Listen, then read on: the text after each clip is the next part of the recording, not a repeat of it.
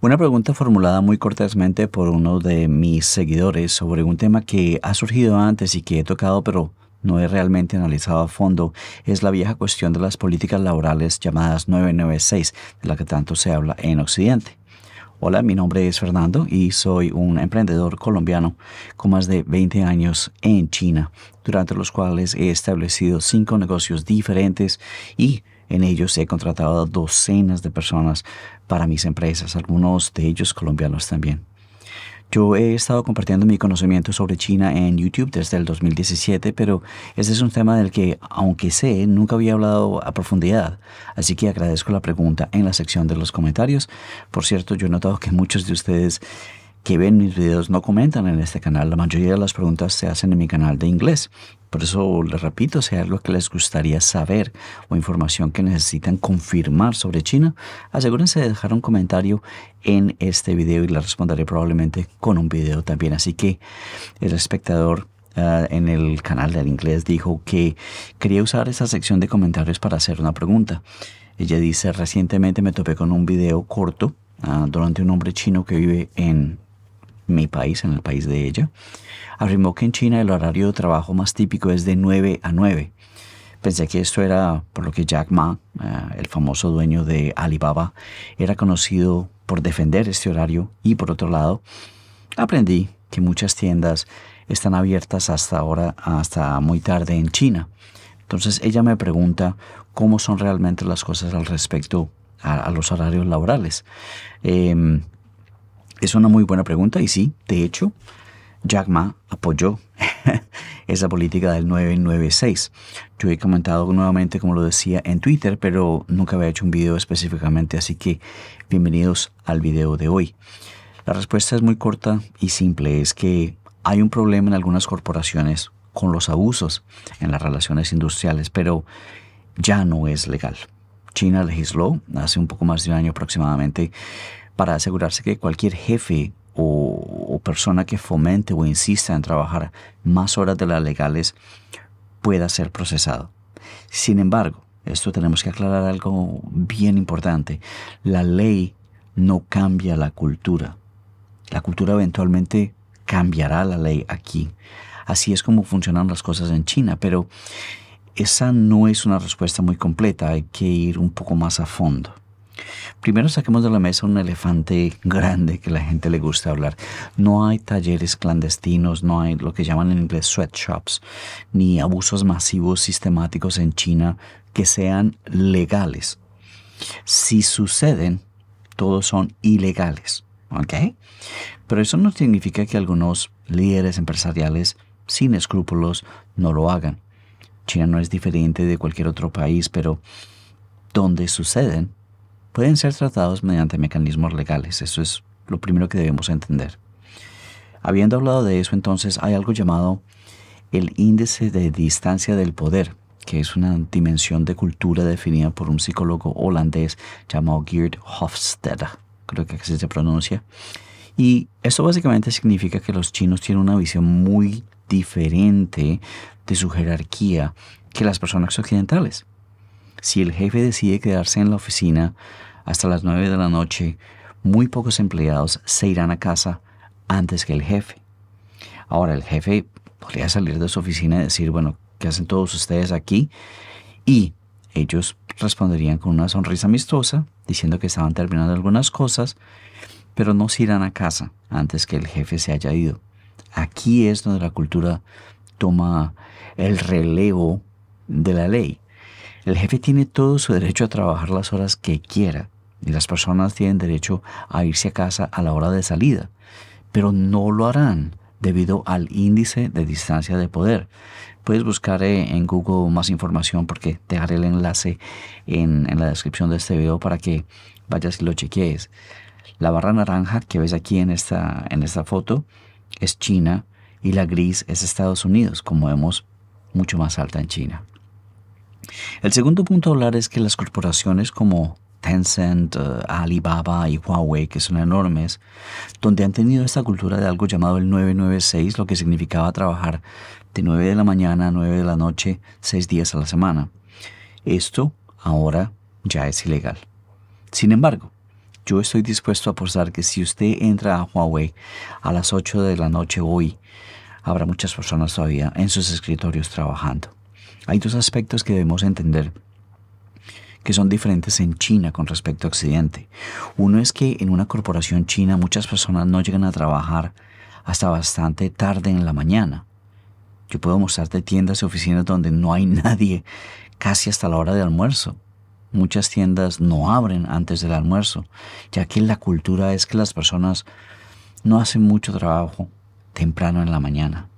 Sin embargo, las grandes corporaciones tendrán una hora de llegada y algunos turnos y las personas estarán obligadas a estar en sus escritorios a las 9 o a las 10 de la mañana. Esos son algunos casos. Luego, algo que todas las empresas chinas tienen son largos descansos para el almuerzo, como, como una siesta. Solíamos ver en informes de la BBC, por ejemplo, diciendo que oh, la gente estaba tan exhausta que dormían en el piso de una fábrica y era impactante, pero una mala información reportada por la BBC. A cada lugar de trabajo en el que he estado en China, y recuerden, yo fui maestro en escuelas, en universidades, en fábricas y más importante aún, dueño de un negocio con docenas de personas bajo mi empleo durante todos estos años. Y todos ellos y mis empresas tienen un descanso para el almuerzo, generalmente de dos o tres horas. Así que si tú empiezas a trabajar a las 10 de la mañana, tomas una siesta después del almuerzo hasta las dos y media, ¿a qué hora normalmente estarías terminando? Por supuesto que será después de las 7 de la tarde, de las 7 de la noche, claro. Tal vez incluso un poco más tarde. Ahora, el tercer aspecto está un poco más localizado en corporaciones como las megacorporaciones de las que hablamos antes. Huawei no es la única, pero es un ejemplo destacado donde no es una empresa cotizada en bolsa, es una cooperativa. La empresa tiene más de 120 mil dueños y cada uno de ellos recibe un dividendo al final del año. Interesante, ¿ah? El dueño de Huawei ha creado miles de millonarios aquí en mi ciudad, en Dongguan, a través de este esquema de propiedad. Y lo que eso significa es que las personas van a trabajar muy duro para poder entrar en ese esquema, para ser escogidos y poder entrar allí, ya que una vez entran en el esquema, van a trabajar muy duro durante 10 años hasta que estén en el punto donde se les ha confirmado la propiedad de sus acciones asignadas y luego podrán vender las acciones de vuelta a la empresa y se retirarán a la edad de unos 40 años. Estas personas trabajan largas y duras horas y sufren enormes tensiones y presiones porque saben que hay una jubilación temprana y seguridad financiera al final. Nuevamente hay una mención de cultura mm, que explica esto y es otra de las dimensiones de cultura de Hofstede llamado orientación a largo plazo. Significa que las personas trabajarán duro ahora para asegurar un futuro mejor. China, como lo ven aquí, está muy alta en este índice también. Y si somos honestos, estoy seguro que encontraríamos muchas corporaciones en Occidente haciendo algo parecido.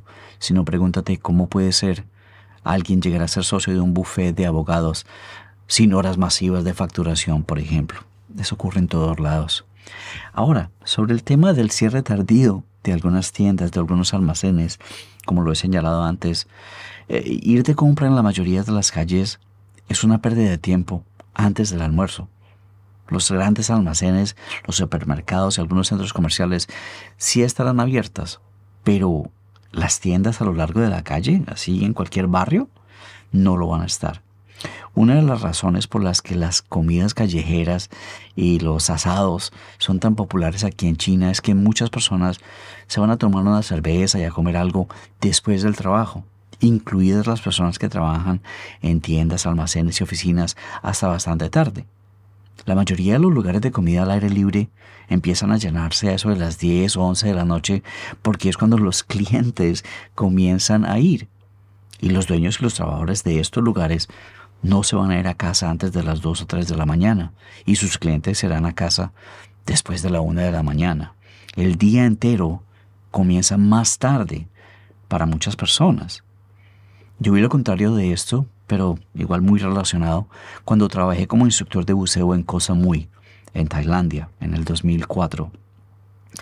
Koh Samui es una isla donde el 65% de la gente trabaja en la industria del buceo.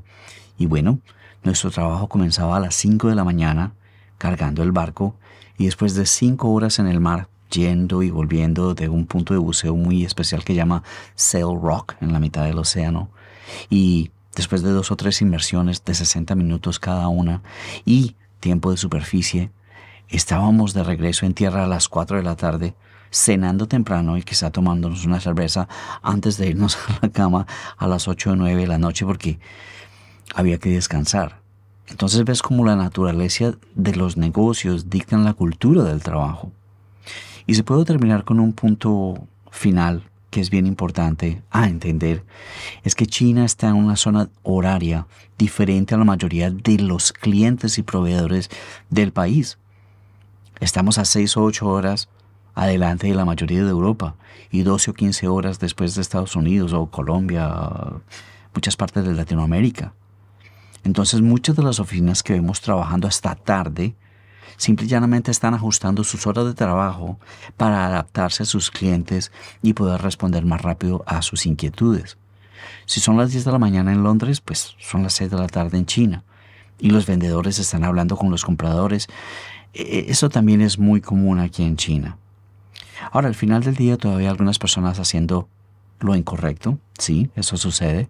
Todavía hay personas, personas que se quejan de largas horas de trabajo y tiempos de finalización tardíos, pero hay muchas personas que están trabajando horas flexibles para satisfacer las necesidades de los clientes o los proveedores y hay leyes para proteger a las personas de ser forzadas a hacerlo. Pero no se puede cambiar la cultura simplemente escribiendo una ley. No se puede cambiar los hábitos voluntarios de las personas mediante la legislación. China es diferente a Occidente. Las personas fuera de China que no entienden esto se quejarán y sugerirán que China está equivocada al respecto. Pero la realidad es que la mayoría de las personas que lo hacen en China lo hacen por una razón y probablemente no cambiarán, aunque pudieran. Bueno, si aprendiste algo en el video de hoy, asegúrate de ver ese video aquí, donde yo hablo de Alibaba, Jack Ma y la reforma educativa en China. Tomártelo con calma y nos vemos en el próximo video.